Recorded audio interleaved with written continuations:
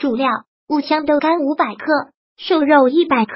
辅料：油、盐、老抽、生抽、胡椒、葱、姜、蒜。准备时间：十分钟内。制作时间：十分钟内。葱姜蒜切碎，豆干切条，最好超厚些。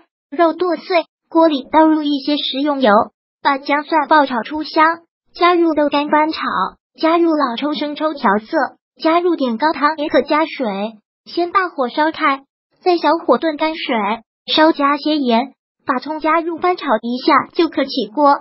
烹饪技巧：盐不要放的太早，加入些高汤煮，豆干嫩嫩的才更入味。如果喜欢本视频，请分享并订阅本频道。别忘了按赞哦！